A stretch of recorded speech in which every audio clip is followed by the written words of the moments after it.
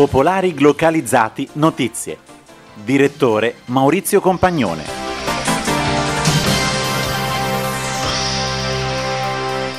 Buongiorno dalla redazione, secondo appuntamento con l'informazione in apertura ISIS, lo Stato islamico ha annunciato di aver preso in ostaggio centinaia di persone dopo un attacco condotto contro il villaggio siriano di Tel Tamer, nel corso del quale una chiesa cattolica è stata data alle fiamme.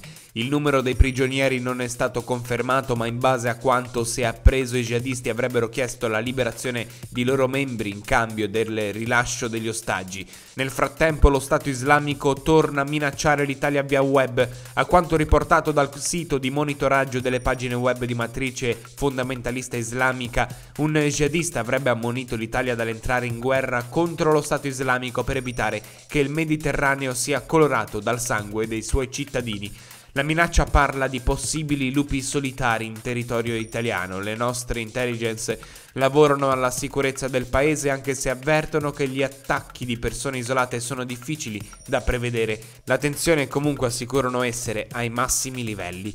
Ieri il procuratore di Reggio Calabria aveva ammonito anche sulla possibilità di una collaborazione tra ISIS e criminalità organizzata. Il nostro stato di allerta è notevolissimo, il controllo sugli arrivi efficiente. Collaboreremo con le procure e auspichiamo che il loro lavoro ci dia certezze dal punto di vista giuridico, ha affermato il ministro dell'interno Angelino Alfano. In Africa nel frattempo 25 ostaggi, tra cui donne e bambini rapiti il 29 gennaio dalle milizie islamiche di Boko Haram in un villaggio del Camerun tenute prigioniere in Nigeria, sono riusciti a fuggire dopo aver fatto di notte un buco in uno dei muri della loro cella.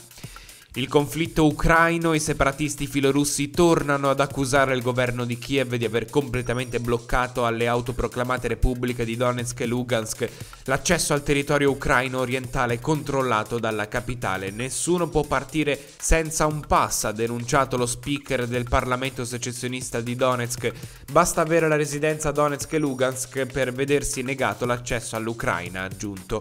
La notizia trova conferme in un decreto governativo nel quale Kiev introduce di fatto un nuovo regime di confine. Questa era l'ultima notizia, l'informazione torna alle 14.30 circa, vi auguro una buona giornata.